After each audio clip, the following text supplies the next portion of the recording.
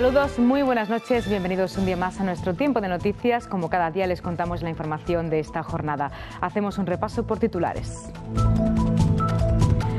Cádiz acoge desde mañana y hasta el viernes la 25 Asamblea General de Municipios y Regiones de Europa. El proyecto del segundo puente se dispone a iniciar su fase clave con el comienzo de la colocación del tramo atirantado.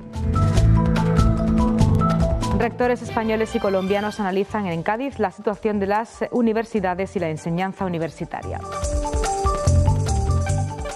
La ciudad de Cádiz acoge desde mañana la 25 Asamblea de Municipios y Regiones de Europa. Los príncipes de Asturias inaugurarán esta cumbre de ayuntamientos europeos que tendrá lugar hasta el próximo viernes. Mañana estén muy atentos porque esta casa Onda Cádiz Televisión les transmitirá en directo la inauguración de este importante acontecimiento. La vigésimo quinta edición de la Asamblea del Consejo de Municipios y Regiones de Europa dará mañana su pistoletazo de salida con la presencia de sus Altezas, los príncipes de Asturias. Unos 70 ponentes de todo el continente debatirán sobre política, economía, igualdad de género, desarrollo sostenible y desarrollo local ante más de 800 representantes europeos. Cádiz acoge así una de las citas más importantes de este bicentenario previa a la cumbre de jefes de Estado y de Gobierno de Iberoamérica.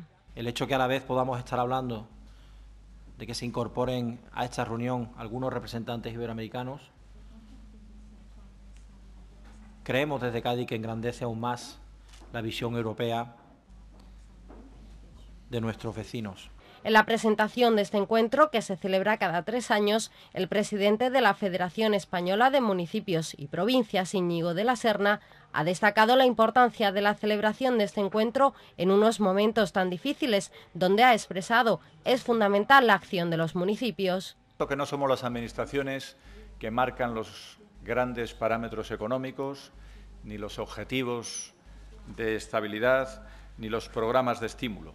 Pero también es cierto que el éxito de estos depende en gran medida de que podamos responder adecuadamente desde las ciudades. Y por eso es fundamental, como ya se ha dicho aquí, lograr un mayor respaldo, reconocimiento y compromiso. Por su parte, el alcalde de Stuttgart y presidente de la CEMR ha expresado su gratitud a la ciudad de Cádiz por acoger este encuentro centrado en la descentralización, democracia y desarrollo como los principales conceptos para aprovechar las oportunidades de futuro. Por eso creemos que es muy importante consolidar, reforzar la democracia a todos los niveles desde el punto de vista local y que los enfoques que se eh, utilicen sean de abajo arriba y no de arriba abajo. Durante estos tres días, concejales y gobernantes regionales de Europa, así como expertos en diferentes materias, intentarán dar luz a las inquietudes locales debates y reflexiones que darán como resultado la Declaración de Cádiz, un documento que instará a esbozar las prioridades para el futuro de Europa desde el municipalismo.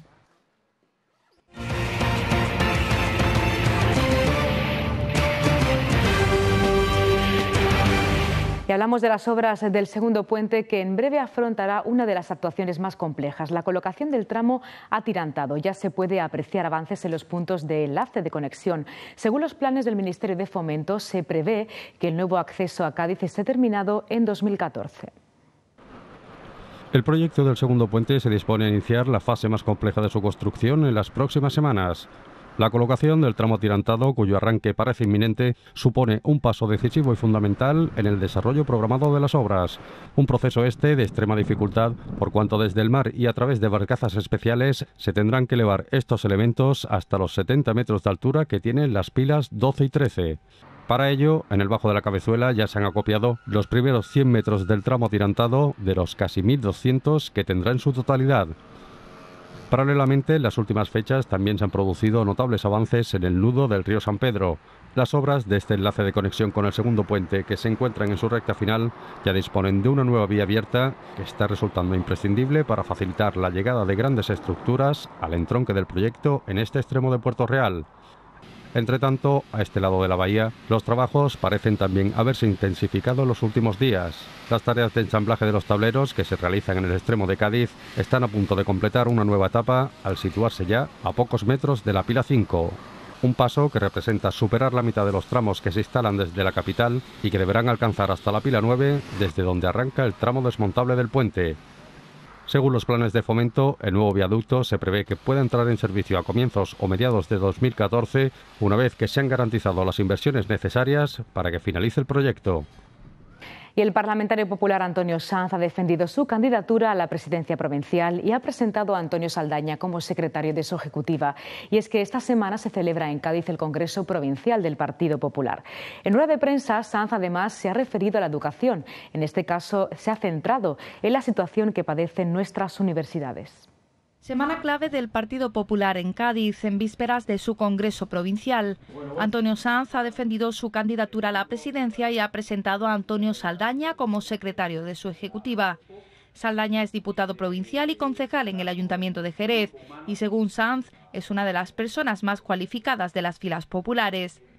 El parlamentario del PP ha defendido su proyecto de renovación de la estructura del partido para acercarlo más a la realidad ciudadana. Mm, vamos a abrir el partido a la sociedad para lo que juntos nos ponemos como objetivo la creación de servicios de atención al ciudadano, como una novedad importante que incorpora la ponencia de, reglamento eh, y que esos servicios de atención al ciudadano se incorporarán en las diferentes sedes del partido. En otro orden de cosas, el parlamentario del Partido Popular ha anunciado que preguntará a la Cámara Andaluza por el nuevo hospital de Cádiz. Sanz acusa a la Junta de engañar a la ciudadanía desechando un proyecto planteado hace más de una década. El representante del PP ha denunciado la política sanitaria de recortes que, según Sanz, están repercutiendo gravemente sobre el servicio asistencial. Están a punto de finalizar contratos que no se van a renovar y, por tanto, esos son despidos claros de profesionales, especialmente a, a personal eventual y sobre todo las consecuencias que esto es un anuncio ya más que claro de despido de los hospitales provocado por la Junta de Andalucía. Críticas también en materia educativa. Antonio Sanz ha lamentado la difícil situación que atraviesan las universidades andaluzas. El representante del PP ha asegurado que los impagos de la Junta hipotecan el nuevo curso académico y complican la gestión de las entidades universitarias. Y en materia de empleo, hablarles de Delphi en este caso, porque el delegado de la Junta en Cádiz dice que la instalación de una nueva empresa en los antiguos terrenos de la factoría requiere de mucho tiempo para consolidarse. Y todo esto ante una realidad que aún no se sabe qué va a ocurrir con los trabajadores de Delphi.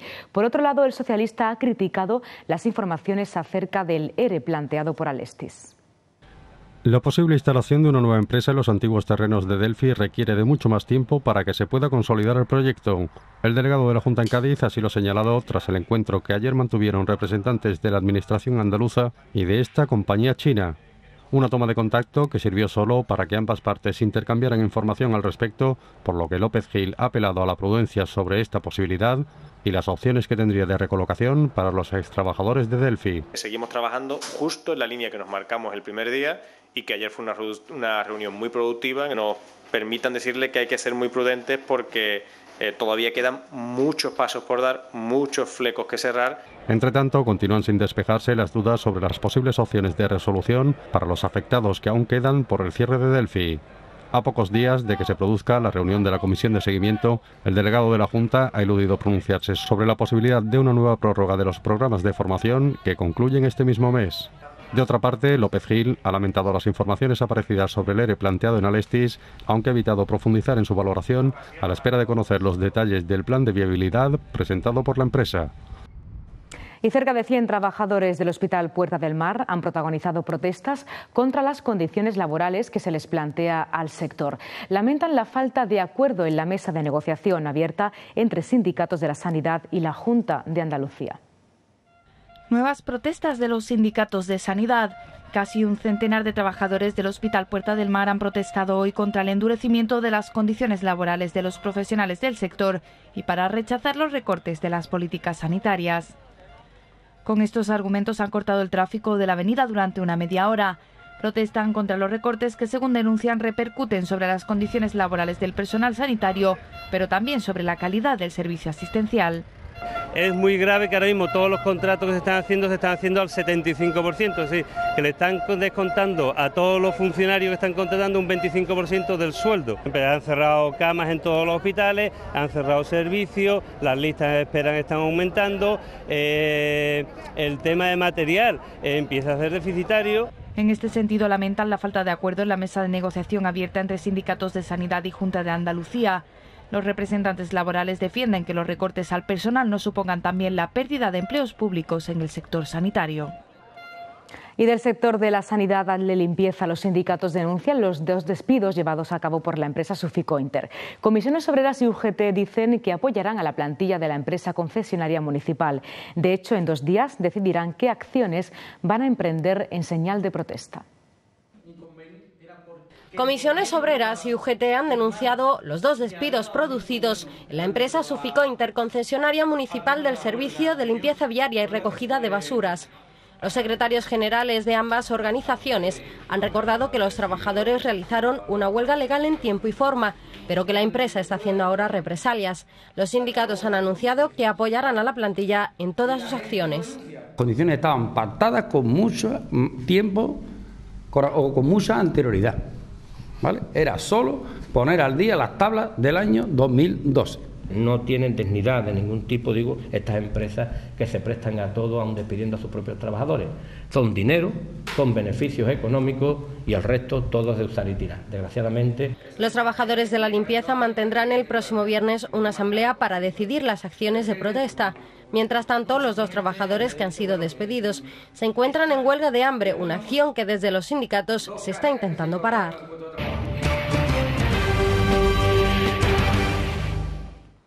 Y Día del Turismo en Diputación de Cádiz, la provincia hace gala de uno de sus motores económicos y por ello se han entregado un año más los premios que reconoce la trayectoria y aportación de personas o entidades al sector terciario. El presidente de la Diputación de Cádiz, José Loaiza, ha destacado las bondades del galardonado, el circuito de Jerez.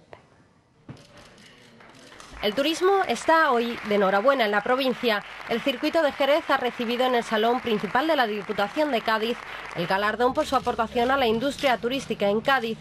El presidente de la institución, José Loaiza, ha recordado que estas instalaciones ayudan a desarrollar económicamente toda la provincia y a su promoción a nivel internacional. La alcaldesa de Jerez, María José García Pelayo, ha asegurado que el circuito sigue luchando por superar estos momentos tan complicados. Ha resaltado el acuerdo al que se ha llegado gracias al esfuerzo de varias instituciones para la celebración del Gran Premio de Motociclismo y el de Superbike. Ha señalado que ahora es tiempo de tranquilidad y de aprovechar las oportunidades para seguir creciendo. No tuviéramos una provincia eh, unida y una provincia con un proyecto claro de desarrollo turístico, sería muy difícil que esos 50 millones de euros que aporta el Gran Premio de Motociclismo pues fueran una realidad. El equipamiento turístico deportivo se suma así a una larga lista de instituciones y personas que cada año son premiadas por su aportación al turismo en la provincia y al desarrollo de la misma. Y nueve ediciones cumple ya el programa Universem, que trata de facilitar la búsqueda de empleo a mujeres universitarias.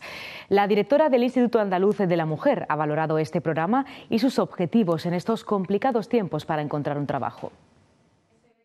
Facilitar la búsqueda de empleo y mejorar la situación laboral actual de las mujeres universitarias es el objetivo del programa Universen 2012, que este año cumple su novena edición. Una iniciativa dirigida a todas aquellas estudiantes que están a punto de finalizar su titulación, el último curso pendiente de proyecto de fin de carrera y también a las recién tituladas. La inserción laboral en las universitarias sigue siendo tan difícil como en cualquier otro ámbito de la vida real de las mujeres Bien, es cierto que cuanta más formación, menos dificultades para la empleabilidad. Eso es una premisa importantísima. Virués asegura que con este programa formativo empresarial, cofinanciado por el Fondo Social Europeo, se intenta dar formación añadida a las alumnas con el fin de que les sirva para que su currículum sea más competitivo a nivel laboral. En este sentido, ha destacado que de las estudiantes que participaron en la pasada edición de Universen, ocho están trabajando. Empezamos ahora la formación eh, temas prácticos, habilidades sociales, idioma, marketing, eh, prácticas en Andalucía, prácticas en el extranjero, de tal manera que ahora mismo, la, edición pasada, la están terminando, ocho mujeres de las 33 tienen contrato y todavía hay algunas que le han ampliado las prácticas. Sin duda un programa que pretende poner en valor el esfuerzo y el trabajo de las mujeres universitarias, porque como bien dice Dolores Virués, ellas son las que terminan sus estudios con mejores notas, pero tienen mayores dificultades a la hora de incorporarse al mercado de trabajo.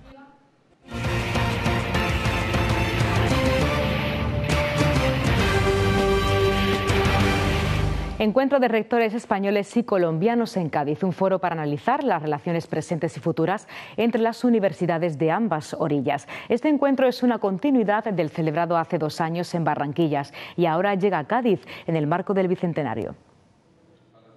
La Universidad de Cádiz ejerce como anfitriona del encuentro de rectores españoles y colombianos. Unos 70 rectores de ambos países participan en este foro en el que se debate acerca de las relaciones presentes y futuras entre las instituciones académicas de ambas orillas. Bajo la lupa, el desarrollo de acuerdos de convalidación entre ambos países, la internacionalización de la universidad y la movilidad de docentes e investigadores. El encuentro en Cádiz da continuidad al celebrado hace dos años en Barranquillas y se trae a la ciudad para conmemorar el bicentenario de la Constitución y de la independencia de Colombia. El acto de inauguración de este foro ha estado presidido por la máxima autoridad de la Conferencia de Rectores de Universidades Españolas, su homólogo en Colombia y la alcaldesa Teófila Martínez. También han participado en la apertura representantes de la Junta y del Ejecutivo Central.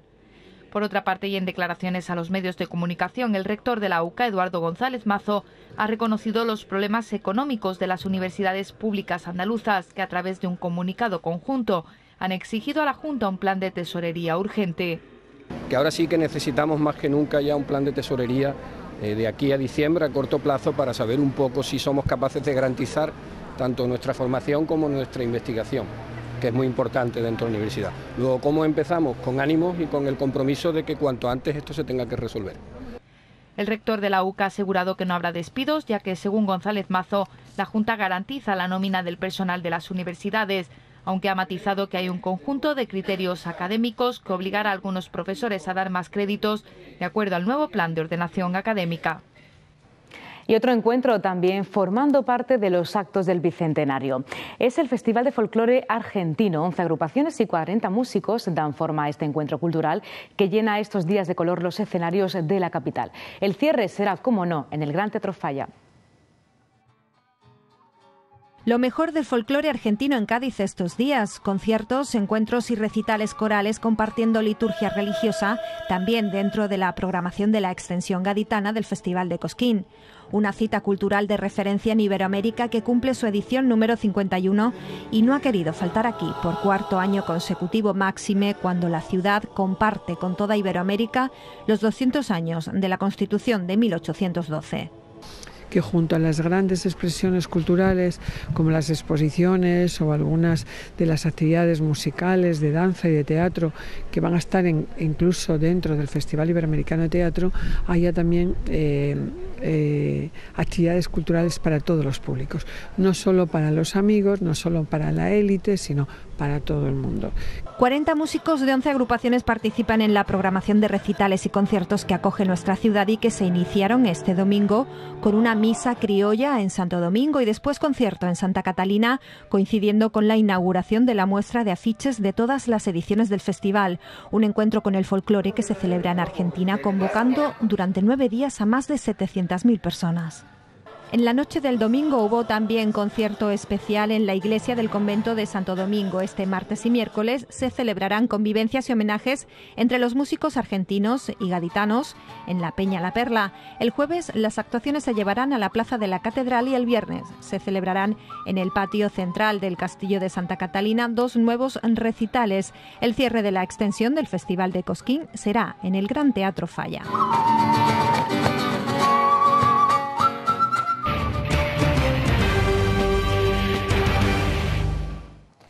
Aprobado con nota los actos constitucionales de San Fernando. Desde el Ayuntamiento han valorado el desarrollo de los eventos que un año más han puesto en valor aquellos acontecimientos históricos que hace dos siglos cambiaron el rumbo de nuestra historia. Unos actos que han contado con el esfuerzo y trabajo de todos los sectores implicados, máxime en tiempos de crisis.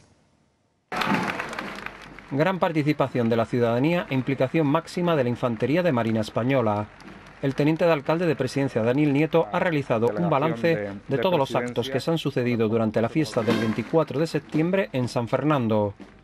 Nieto ha destacado el trabajo y la dedicación efectuada por todos los que han actuado de forma altruista en cada una de las ceremonias que han revalorizado una fecha muy especial para la ciudad. El edil popular también quiso resaltar la labor de todo el personal municipal, cuerpos de seguridad armada y otras entidades ciudadanas que se han volcado para engrandecer cada una de las celebraciones que se han sucedido a lo largo de los últimos días. Nos comprometemos, después del éxito de, ayer, a seguir trabajando todos juntos, a seguir trabajando todos juntos para que esta jornada que está ya que supuso en el día de ayer la definitiva consolidación del 24 de septiembre sean los años venideros una oportunidad más para reivindicar ese sitio en la historia y también una oportunidad para disfrutar como así se eh, ocurrió en el día de ayer. Finalmente anunció que la bandera coronela entregada a la Infantería de Marina con motivo del 475 aniversario de su fundación será expuesta en el centro de congresos próximamente para que pueda ser conocida por todos los ciudadanos. Y no nos movemos de San Fernando porque la ciudad ha distinguido al polifacético actor, músico y humorista Alex O'Doherty. El galardonado arrancó las sonrisas de los presentes con su especial humor. Reconocimiento de San Fernando a Alex Doherty. El polifacético actor y músico recibió el premio a la identidad isleña de manos del alcalde de San Fernando, José Loaiza, en la sala anfiteatro del Centro de Congresos y Exposiciones Cortes de la Real Isla de León una distinción para los nacidos en San Fernando y que siempre se han reconocido públicamente como tales. Por lo tanto, el ayuntamiento ha decidido premiar su trabajo y trayectoria como isleño universal. Pero también te acuerdes de todos los isleños que sin conocerte, sin ser amigos tuyos, sin ser tu familia, estamos orgullosos de que tú estés por ahí, por todo, por toda España, por toda Europa y por todo el mundo, llevando el nombre de nuestra isla, que seas Cañella. El músico, actor y humorista isleño es actualmente miembro fundador de la Banda de la María y ha dado conciertos a nivel internacional. Como actor ha participado en afamadas series de televisión y distintas películas. El galardonado ofreció a todos los presentes un monólogo de agradecimiento cargado de su característico humor que arrancó no pocas risas a un repleto auditorio en un acto ameno y distendido y se supone que contribuyo a la difusión, potenciación o reconocimiento de los diversos elementos y valores que integran el pasado, el presente y el futuro de la ciudad. Yo os prometo que yo eso no lo, sabía. No, lo sabía. Yo lo único que he hecho siempre ha sido estar muy contento y orgulloso de, de ser de aquí, porque soy de aquí y nací aquí. Si fuera de otro sitio, hubiera nacido en otro sitio, lo más probable es que me gustaría ser de aquí, como a mucha gente. Es la primera vez desde que se instauró este premio allá por el año 2000 que nos ha entregado coincidiendo con la celebración a finales de enero en Madrid de la Feria Internacional de Turismo FITUR, una decisión que ha sido tomada por el Ayuntamiento de San Fernando para identificar a aquellas personas con notoria exposición pública que se han identificado con la ciudad allá por donde van. Eh,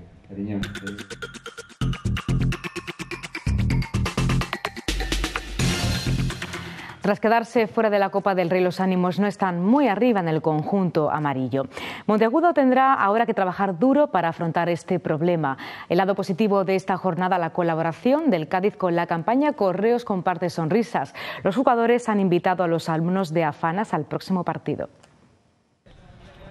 Las aguas bajan algo revueltas en el seno del Cádiz Club de Fútbol tras quedar apeados de la Copa del Rey y sacar solo un punto de los dos últimos encuentros de liga ante rivales teóricamente débiles en Villanueva de la Serena y Carranza ante el San Roque, la fragilidad defensiva ha quedado patente en este comienzo liguero, donde Alberto Monteagudo tendrá que trabajar más y mejor para solucionar este problema que está haciendo dejar puntos importantes en el camino.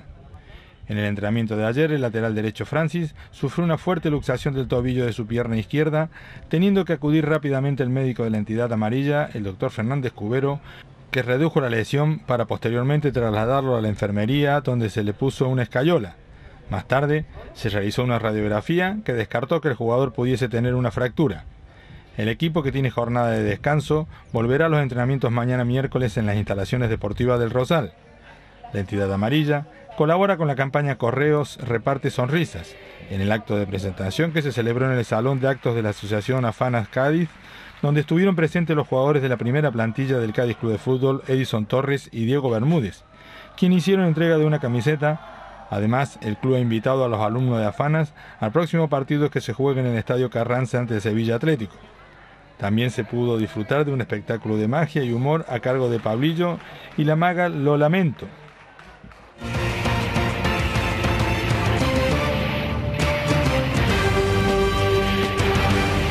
Y es hora de conocer ya la previsión meteorológica para las próximas horas.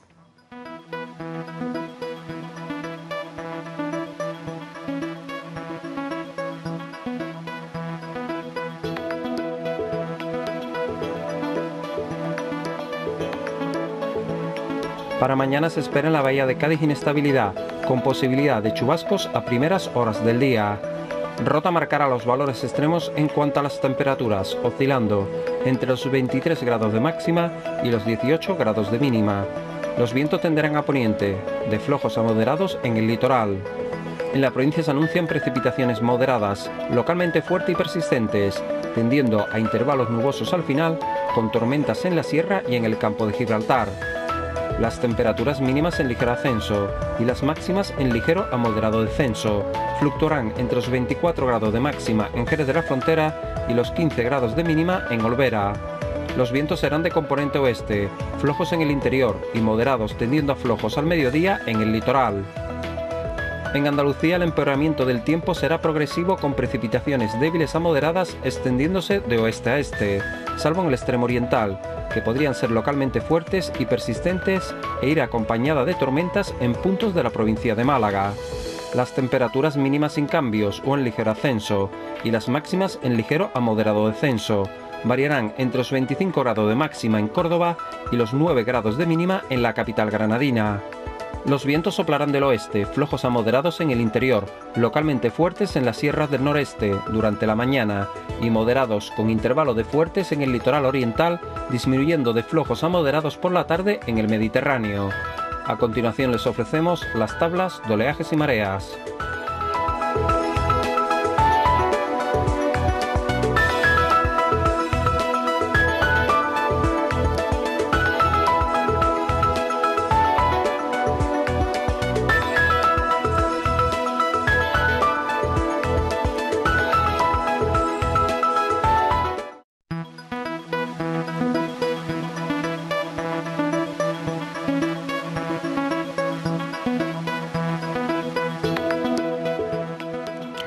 Homenaje a Chabela Vargas en el Gran Teatro Falla, el encargado de poner voz, el cantador David Palomar.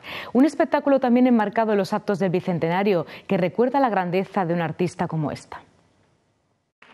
Homenaje desde el Teatro Falla a Chabela Vargas con David Palomar Alcante, el cantaor de la mano del Consorcio del Bicentenario y el Instituto Andaluz del Flamenco, trajo a Cádiz el viernes el montaje que ya estrenará en la Bienal de Sevilla, una fusión de estilos en la que el artista gaditano mezcla temas muy conocidos del cancionero iberoamericano que han sido interpretados por Chabela Vargas con otros compuestos en su tributo, siendo trasladados todos ellos a una expresión flamenca.